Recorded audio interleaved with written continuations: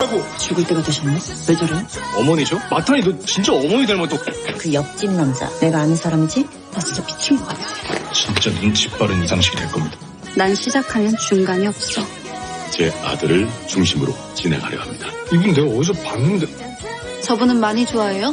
오해는 꼭 풀어주세요 저랑 마타 씨 진짜 아무 사이도 아니라고 해명하기 싫다면요.